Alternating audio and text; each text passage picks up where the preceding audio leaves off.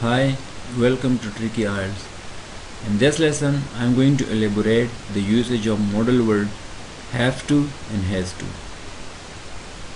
Where to use, how to use, and why to use. So for that, you have to watch this video till the end. If you find this video helpful, I encourage you to subscribe my channel for more videos relevant to grammar and IELTS have to and has to be used for those actions or activities when the doer of the action is not interested he or she is not interested to do or perform the action willingly. So in that case we use modal verb have to and has to. Present compulsion. So those actions which we do as a compulsion in present time. When we are not ready to perform something, but we are compelled to do so. So in that case, we use modal verb have to and has to. When the doer of the action is not interested to perform the action, but he or she compels to do that action. So in that case, we use present compulsion. Have to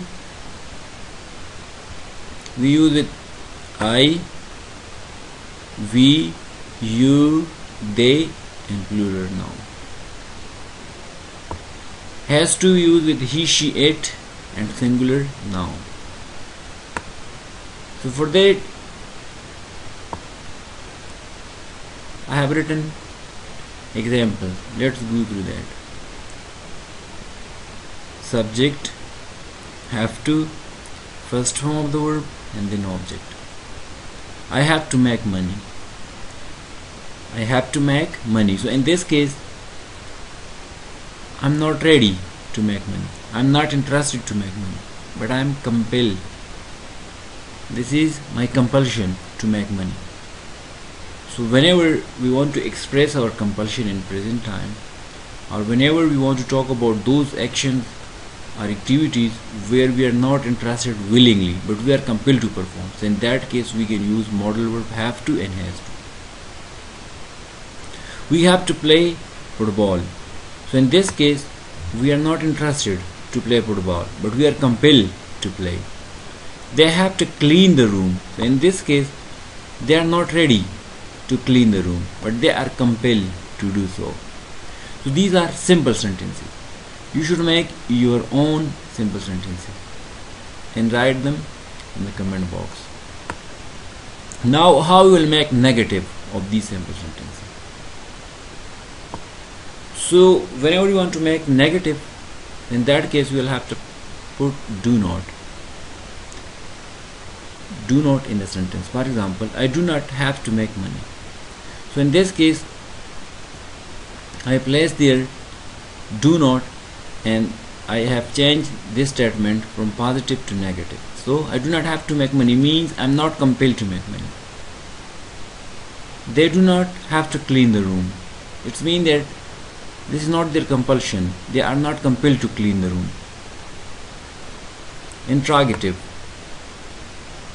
Whenever you want to ask someone about those actions or activities where they are not interested but they are compelled to do so so you will have to start sentence with do.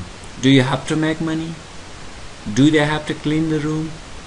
So you can answer in the same way. For example, do you have to make money? So there are two possible answers. Yes, I have to make money. No, I do not have to make money. Do they have to clean the room? Yes, they have to clean the room. No, they do not have to clean the room. So there are two possible statements or answers. WH question.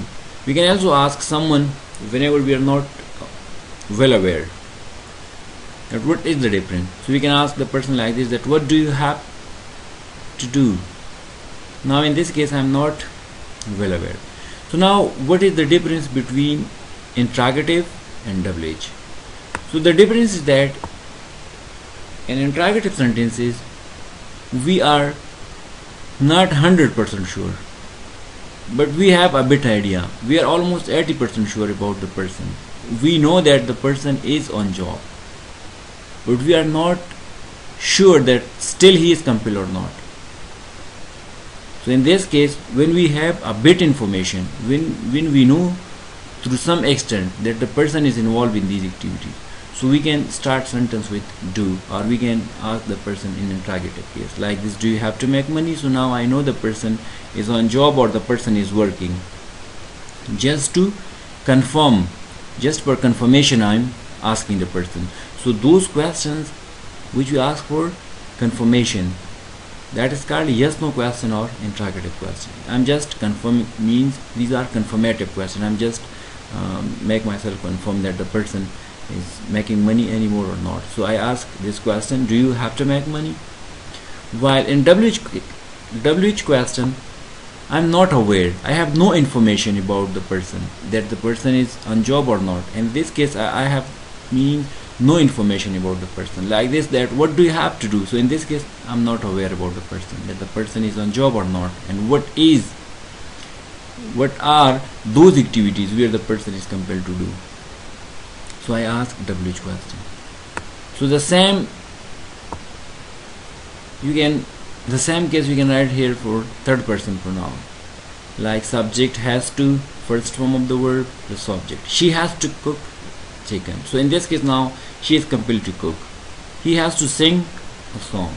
Ahmed has to drive car. So in these cases all these are simple sentences.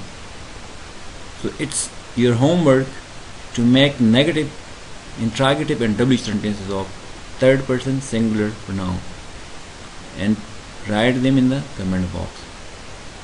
Thank you